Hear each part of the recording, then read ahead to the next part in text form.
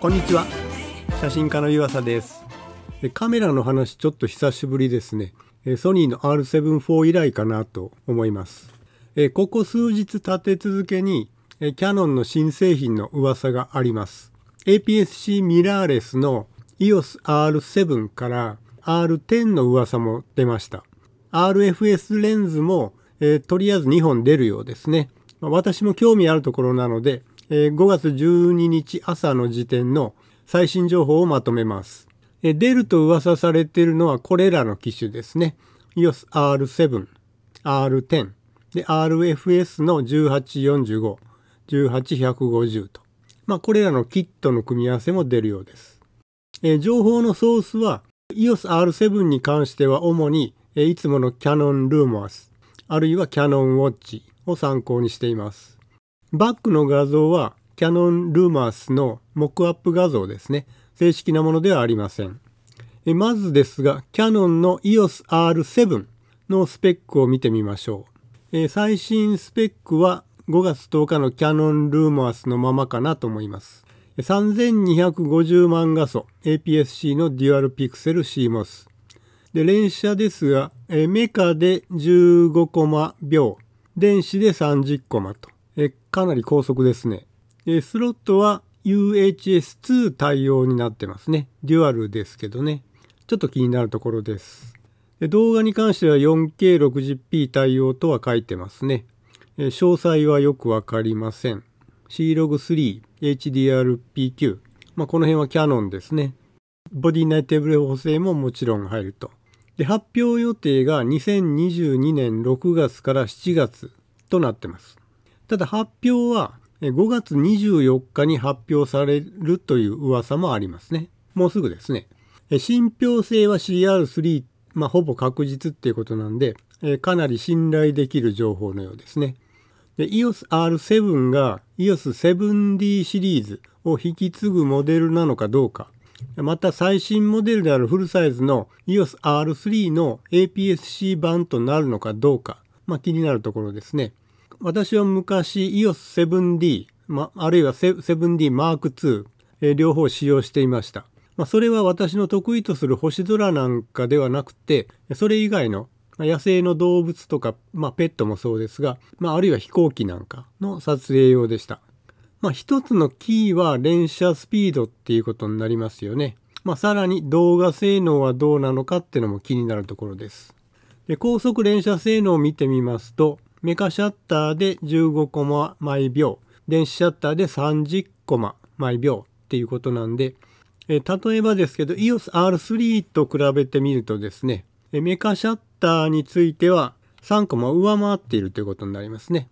まあ、APS-C なんで、まあ、小さいんで、メカシャッターが速いのは、まあ、なんとなくわかりますよね。まあ、ここに関しては EOS7D シリーズのコンセプト通りなのかなって感じですよね。高速連射。動画性能に関しては 8K には対応してないようですし、まだまだ詳細は不明ですね。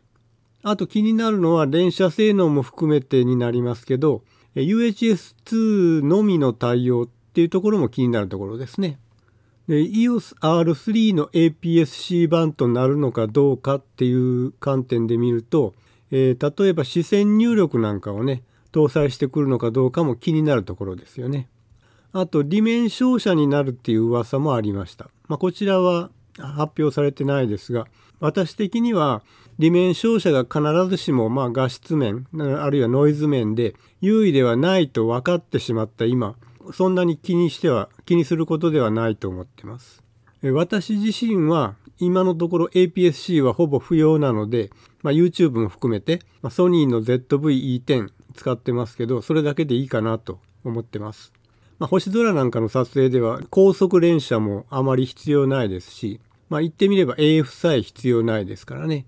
でも言った通り、野生動物とか飛行機なんかも撮ることはよくありますし、まあ、600mm ですね64を買ったので、まあ、ちょっと鳥なんかも撮りたいなと思ってたりしますのでこの EOS R7 はちょっと気になるところではあります。でましてやですね EOS R3 の視線入力が、まあ、APS-C という強みもあって、まあ、センサーサイズが小さいっていう強みですねもあってさらに進化したりしていればやっぱり欲しいなと思いますよね。え一方ですね、昨日急に出てきたキャノン EOS R10 のスペックです。昨日の時点ですね。今日もまだ新しい情報は入ってないです。2420万画素。少し画素数が減っています。R7 と比べてね。で、15コマメガシャッター、23コマ電子シャッター、まあ、23コマちょっと中途半端ですけどね。で、UHS2 のシングルスロットですね。おまけのように HDRPQ って書いてますけど、えじゃあ S ログ、S ログじゃない、C ログ3はないの？っていう、まあ、そこら辺は分かりません。こちらはまだ詳細分かってませんが、まあ、こちらも信憑性は CR3 ほぼ確実っていうことなんで、まあ、信頼できる情報のようですね。え、このスペック予想を見る限りでは APS-C のまあ標準機っていうイメージですね。標準機って言ってもちょっと上のイメージですね。エントリー機っていうイメージじゃないですね。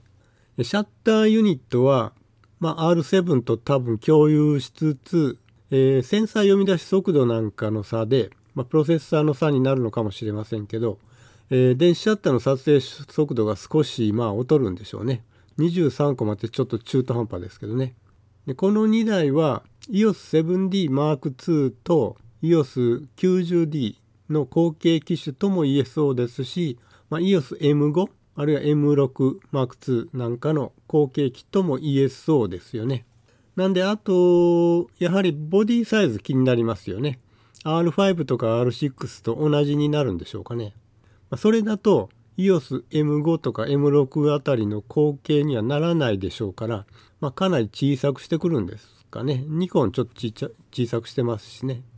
それと最終的に買うかどうかですが、まあ、価格ですね。もちろん気になりますね。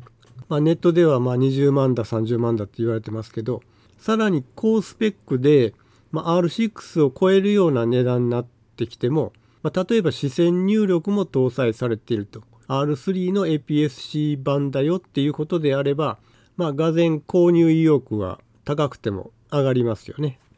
この両方のカメラとこの数本、まあ、はっきりしているのは2本ですけど数本の RFS レンズは5月24日に発表されるっていう噂です。もうすぐですね。